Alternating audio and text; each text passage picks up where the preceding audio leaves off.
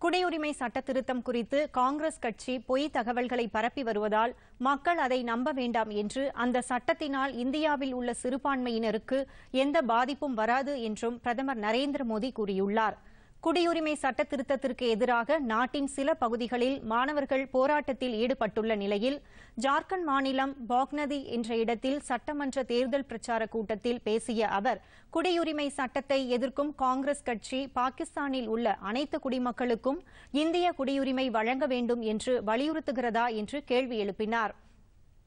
அப்படி ஒரு விருப்பம் இருந்தால் காங்கிரஸ் கட்சி அதை பகிரங்கமாக அறிவிக்கலாமே என்றும் கேள்வி எழுப்பினார்.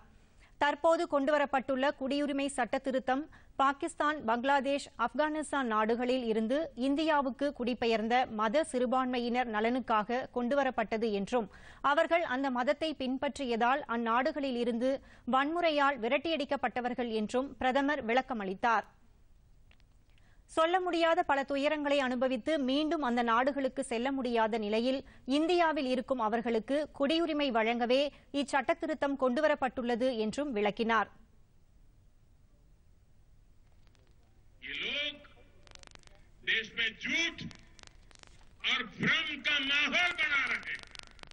कि नागरिकता संशोधन कानून से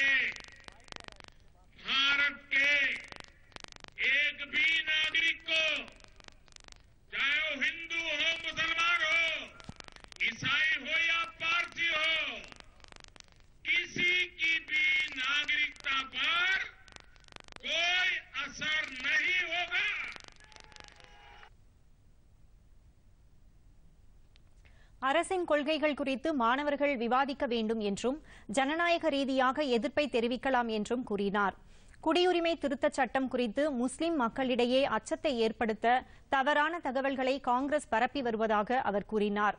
இந்த சட்டத்தின் மூலம் நாட்டில் உள்ள எந்த குடிமகனுக்கும் பாதிப்பு இல்லை என தாம் உத்தரவாதம் அளிப்பதாக பிரதமர் தெரிவித்தார் डिबेट करें आपको कुछ गलत लगता है तो लोकतांत्रिक तरीके से प्रदर्शन करें। लेकिन आपको ये भी समझना होगा कि कहीं कुछ दल आपके कंधे पर। ஷாமிகன் சென்ற இடத்தில் நடைபெற்ற மற்றொரு தேர்தல் பிரச்சார கூட்டத்தில் உரையாற்றிய பிரதமர் அரசியல் ஆதாயத்திற்காக முஸ்லிம் மக்களை காங்கிரசும் அதன் கூட்டணி கட்சிகளும் போராட தூண்டுவதாக கூறினாா்